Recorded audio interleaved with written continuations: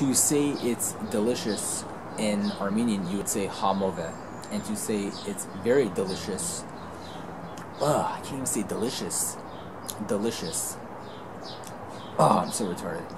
Okay, one more time. To say it's delicious in Armenian, you would say hamove. Hamove. Hamove. And to say it's very delicious, you would say shad hamove. Shad hamove. Shad hamove. And sometimes I have a problem saying it's delish is delicious.